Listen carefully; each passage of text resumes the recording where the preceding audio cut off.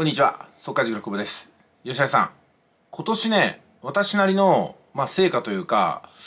まあ、やることはやったなっていうのの一つに、1億円以上の稼ぎを作った人を塾生の中でね、3人、分かってるだけでも3人作れたってことなんですよ。1億円ですよ。で、これね、正確に言うとね、あの、ずいぶん前なんですけども、暗号通貨の体の A だっていうのを、私あの、速稼塾が始まってすぐに、多くの方にね買うことを勧めたんですよね。でも昔すぎて体の買ったことを忘れて、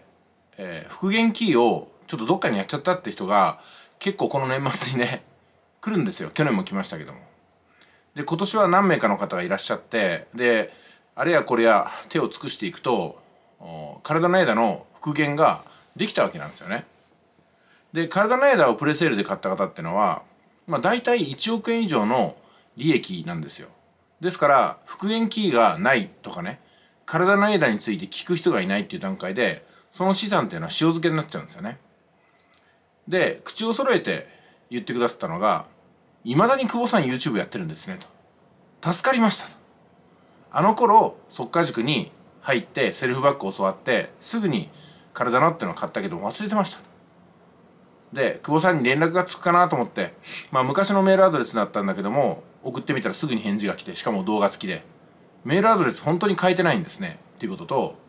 今でも YouTube やってるんですね速稼塾やってるんですねっていうことでね非常に感謝されましたね。でこの年末に速稼塾の残金をこれはみんな払ってくれました。あののしつけて払ってくれましたね、うん、それは1億円以上人によってはね10億円ぐらいの利益になるわけですからまあ30万とか50万とかね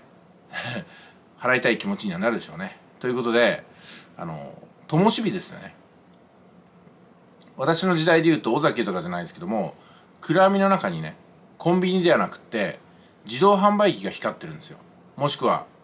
テレフォンボックス。ね電話ボックスが。でそこに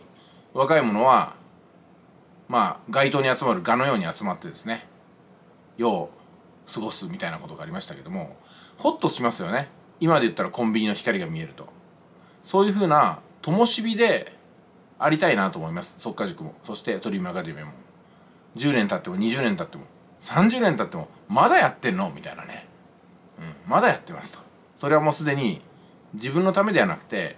約束したサポートのため。まさに灯火。でそれが速稼塾でありドリームアカデミアなんではないかなと思います。いってらっしゃい。